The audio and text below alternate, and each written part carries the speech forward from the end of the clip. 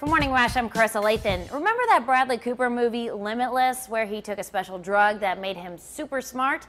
41 year old biomedical engineer Jonathan Riley feels he takes a pill just like that. I would get to work and I would be on fire. Riley takes Nuvigil, a drug typically prescribed for those who have severe sleep disorders. Today reports it's often used as part of a new generation of brain enhancers called nootropics, or smart drugs. It made me feel awake and alert and I was able to see more possibilities. I was able to look at something and see more than just kind of my limited scope before. Details magazine profiled Riley as well and reports the drugs in this nootropics family include prescriptions like Nuvigil and Provigil, as well as some non-prescription supplements that stimulate brain receptors. Devotees say nootropics are a wholly different experience from energy drinks as they give you a mental edge, increasing memory, intelligence, motivation, and concentration without the jitters or crashes that can come with stimulants. Discover magazine says many people have reported getting the prescription easily by just complaining of frequent jet lag or excessive fatigue.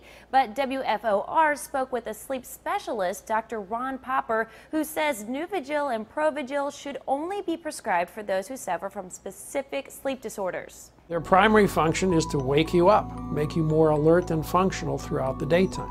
He says the drug should only be prescribed for adults with conditions such as narcolepsy, obstructive sleep apnea, and shift worker sleep disorder. Fox News reports at one point Riley couldn't get a prescription for the drug and he took a break for four months. He said he was anxious to get back on it, saying without it, he felt less productive. I think I really enjoy who I am more when I'm on it.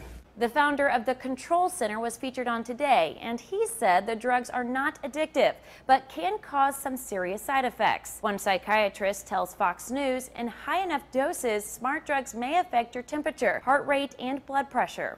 Nuvigil lists some of the common side effects of the drug include headache, nausea, dizziness, and trouble sleeping. Of course, most doctors warn against taking prescription medication for anything other than what the medicine is intended to treat.